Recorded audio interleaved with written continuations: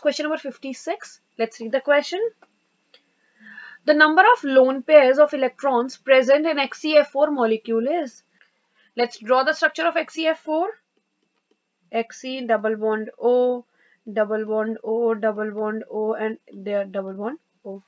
Students in this uh, figure there is no lone pair present on xenon and on each oxygen two lone pairs are present. I'm drawing lone pairs. That means in total the number of lone pairs of electrons present is equals to 2 plus 2 plus 2 is equals to 2 into 4 which is equals to 8. That means the correct answer is option number 3. Moving to next question students which is question number 57. Let's read the question. Molecule which is non-polar is. Students, the molecule in which all the bond dipoles cancel out each other are non-polar.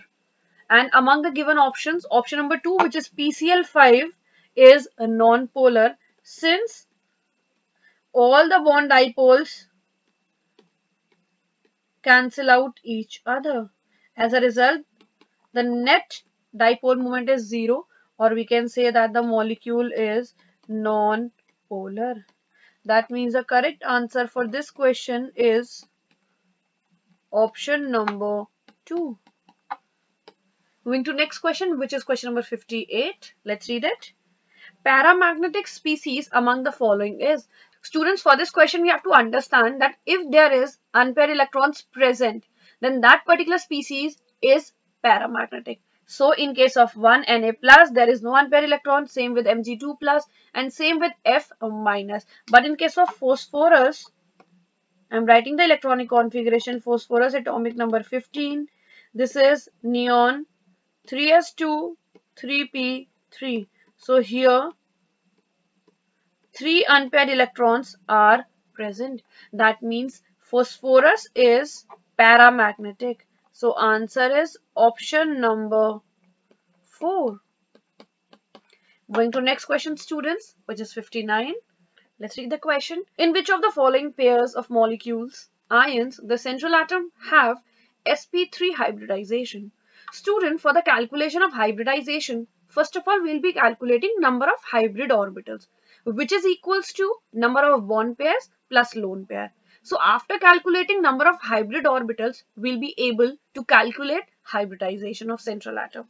So here BF3, in BF3, uh, the hybridization of boron is sp2 and here in CH4, the hybridization of carbon is sp3. Going to next, NH2 minus and CH4. Student here, I'm drawing the structure of NH2 minus. Nitrogen has two lone pairs and two bond pairs. That means number of hybrid orbitals is equals to 4. As a result, the hybridization is sp3. The hybridization of CH4 we have already discussed. Here carbon has 4 bond pairs. That means number of hybrid orbitals is equals to 4 and hybridization is sp3. Here SF6, student SF6 has 6 bond pairs. Therefore, hybridization of sulfur is sp3d2. Moving to next, XeF2. Here xenon has three lone pairs and two bond pairs. As a result, number of hybrid orbitals is 5 and hybridization is sp3d. Moving to next, XeF2, we have already discussed the hybridization of xenon is sp3d and here we have already discussed the hybridization of carbon in CH4 is sp3. So the pair of ions or molecules where the central atom is sp3 hybridized is option number 2. So the correct answer is option number 2. Moving to next students. Which one of the following species does not exist under normal conditions? So student, if the bond order is 0, the particular species will not exist. So let's calculate the bond order. In option number 1, the bond order of H2 is 1. That means this exists. Moving to next, the bond order of H2 plus is 0.5. Moving to next, He2 plus, the bond order is also 0.5. And the last is Li2 2 plus and the bond order here is 0. That means option number 4 Li2 2 plus does not exist. So answer is option number 4. Moving to next question students.